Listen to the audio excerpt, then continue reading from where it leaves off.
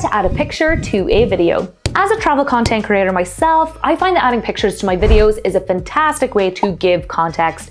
It provides a point of reference, it makes my videos more visually engaging, and it breaks up the monotony of looking at this face for the entirety of the video.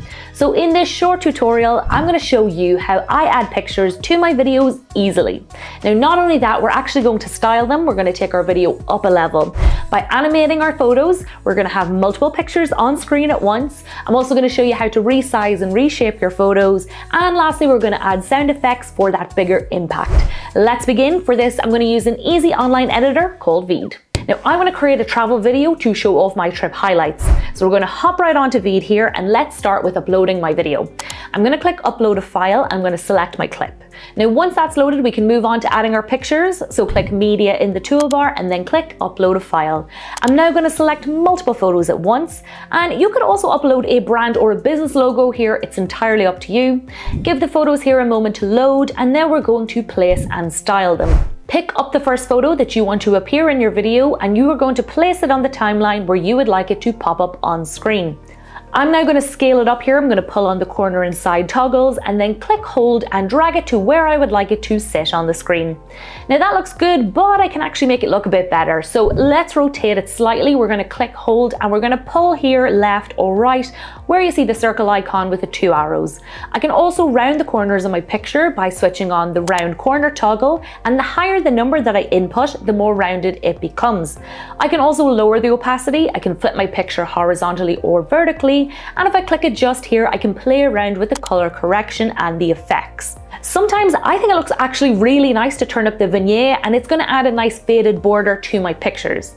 Click back and then the final thing that we can add to style our pictures on our video is adding an animation. Click animations and then I'm going to hover my mouse over each one to see it in effect and then I'm going to select my favorite.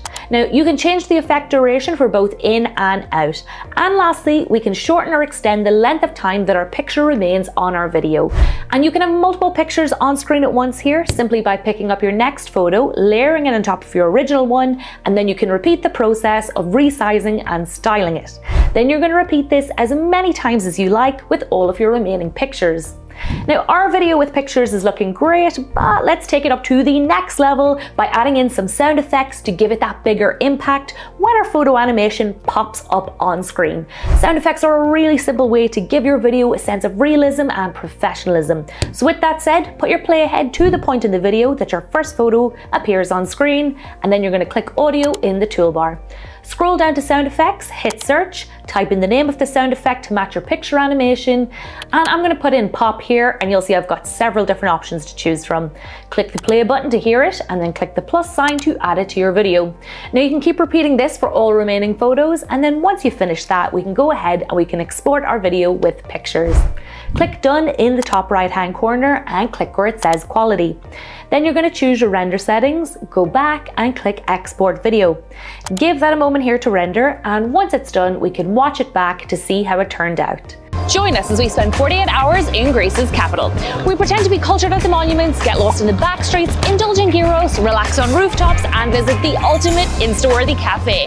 This is Athens. Lastly, click download and download MP4. And that's how to add a picture to a video. To learn how to add video to video, you can click here on screen. Thanks for watching and I will see you in the next one.